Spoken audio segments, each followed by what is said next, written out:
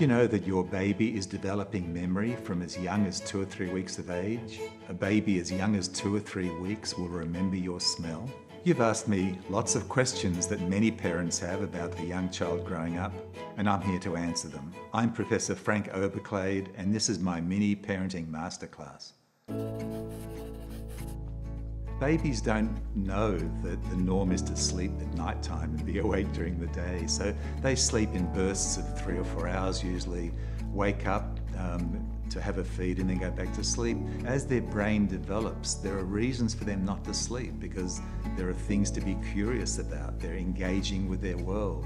Parents are talking to them, are reading to them. So they get into that sort of predictable pattern of being awake for longer periods of time, engaging and interacting with their parents and caretakers and the world around them, and then falling asleep again. For some time, a number of years ago, it was thought that babies being exposed to classical music made them smarter.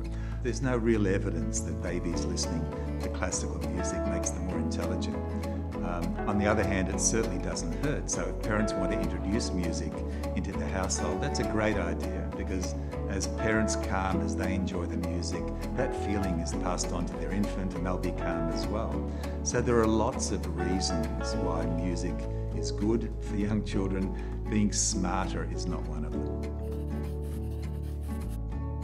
A baby will get all the nutritional needs they need from breast milk, and we say that it's really important for mothers to try to breastfeed. After that, that's when there's a danger period for some children in some countries where there's food insecurity, where the, the quality, the diversity isn't there, where there isn't enough food to put on the table. That can result in both cognitive stunting, that is, the child is delayed from a developmental point of view, but also from a physical point of view.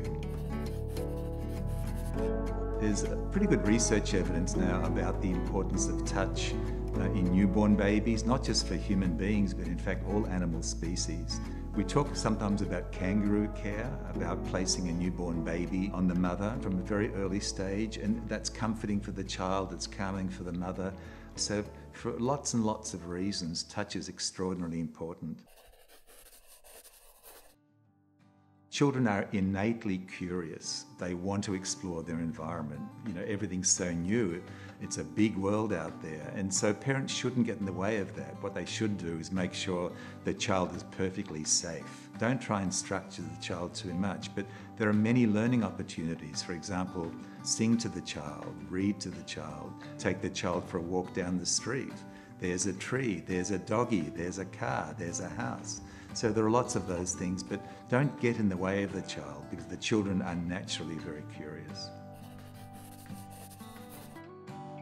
As the young infant and toddler starts to develop language like very simple things, dog, bye-bye, ta-ta, etc., etc., parents can reinforce that, they can mirror that, they can mimic that.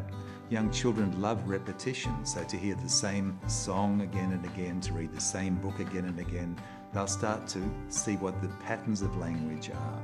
Um, so we encourage parents to talk to young children a lot, to sing to young children. At the same time, don't dominate the conversation, take turns. Uh, we sometimes uh, name that as sort of serve and return. The child says something, the parent says something. Often mirroring what the child says is very important. In those early years of life, what babies need is responsive caring. They need a nurturing environment. They need parents that are tuned in to the young child. Parents are their baby's first teachers. As the parents are talking to the child, singing to the child, reading to the child, creating these sort of stimulating experiences, there's this explosion of learning. All of these networks are being developed in the brain.